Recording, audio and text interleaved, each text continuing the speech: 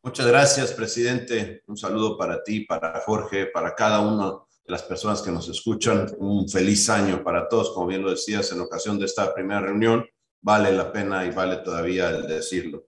Yo quisiera empezar, presidente, si me lo permites, por, por tratar de, de decir que el problema de la inflación en nuestro país es un problema del gobierno.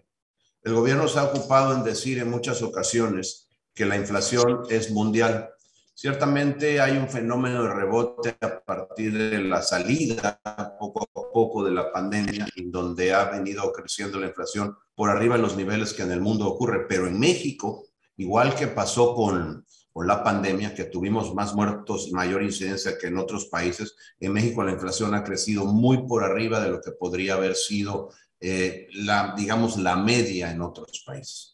¿Qué es lo que está pasando? Que no se atienden los problemas de fondo de la economía. A ver, la política económica de este país ha sido un desastre.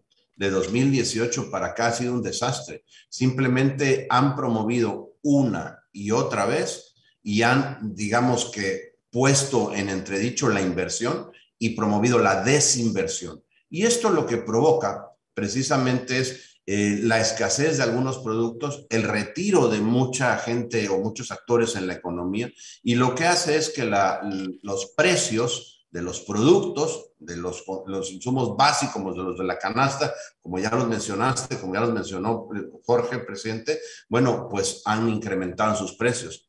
Y esto ha sido provocado, en primer lugar, porque el gobierno no ha aplicado una política monetaria eh, restrictiva que permita controlar la inflación.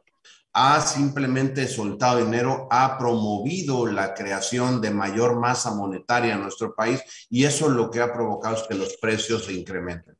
Y con ello, lo que tenemos ante el desorden generalizado lo que tenemos es, por supuesto, un crecimiento de los precios de todos los productos y servicios.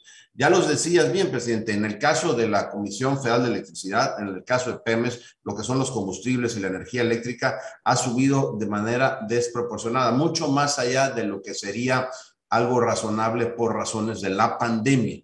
A mí me parece que lo que estamos viendo es simplemente una desatención un descuido, eh, una incompetencia del gobierno por hacer las cosas bien y ha provocado que los precios simplemente suban.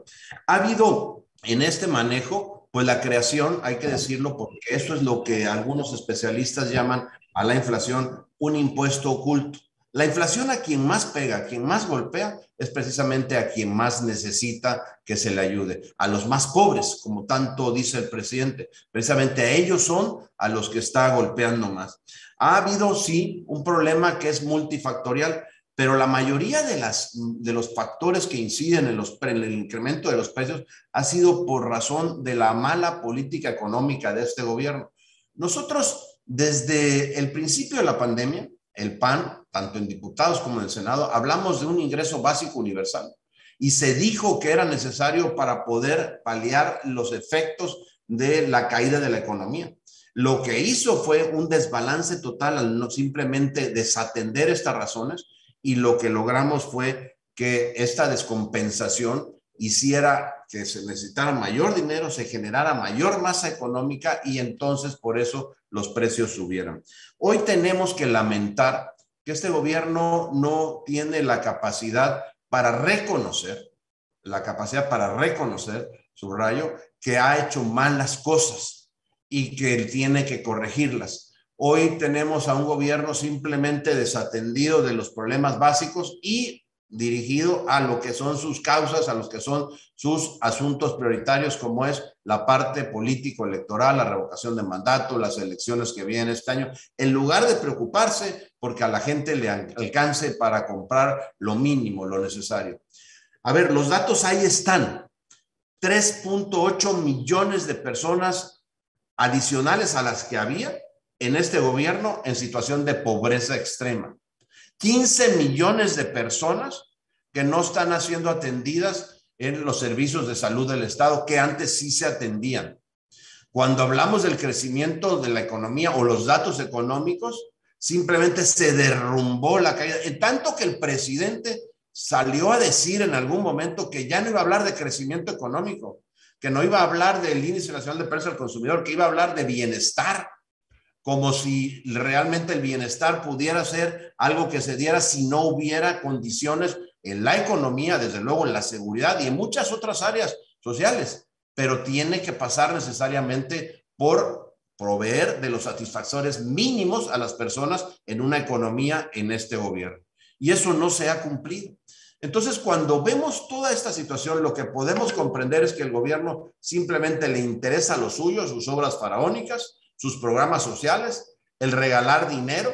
Qué bueno que haya programas sociales y qué bueno que se apoye a la gente, pero no se puede quedar solo en eso. Y hoy lo que tenemos es a un gobierno que está dedicado única y exclusivamente a sus obras faraónicas y a regalar dinero, desatendiendo todos los demás problemas, pasando incluso por el de la seguridad que simplemente lo desatiende.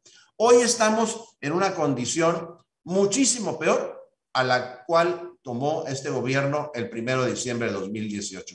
Y eso es culpa de este gobierno, ya no es culpa de los gobiernos anteriores, ya se tiene que hacer responsable. Tenemos que exigirle responsabilidad a este gobierno por lo que ha hecho mal en materia económica. La economía cayendo, la inflación creciendo, los pobres también aumentando en nuestro país y teniendo desde luego condiciones de seguridad absolutamente peores a las que se tenían antes y eso tiene que cambiar. Por supuesto que en el tema económico, identificar un solo factor para todas las causas y todos los problemas de este país es difícil, pero la inmensa mayoría de los ejes rectores de la economía que tienen que ver con las sesiones político-económicas de este gobierno han sido absolutamente un fracaso. Y las, las consecuencias ahí las tenemos con un crecimiento negativo, con una inflación desbordada, como nunca, en más de 20 años no teníamos esta inflación, y hoy, bueno, padeciendo pues condiciones de desesperación en muchas familias porque no alcanza, como bien se ha dicho aquí, y también padeciendo condiciones de incertidumbre para los creadores de empleos que al final son los que permiten a las familias tenerse sustento y permiten al gobierno tener los impuestos para poder sostener la economía de este país. En resumen, lo que tenemos es un gobierno que tiene que reconocer que ha sido un fracaso, que tiene que reconocer que hay que cambiar las cosas y que por supuesto debe de reconocer que la política económica no es su expertise y que tiene que hacerse de buenas propuestas, como las ha hecho el PAN, como las hemos hecho en diputados, en senadores a lo largo de la legislatura anterior y en lo que va de esta. Es tiempo de que reconozca que no pueden solos, que necesitan la ayuda de expertos, que en economía los hay en este país y que permitan recomponer la situación de cada uno de los mexicanos en esta nación de manera urgente.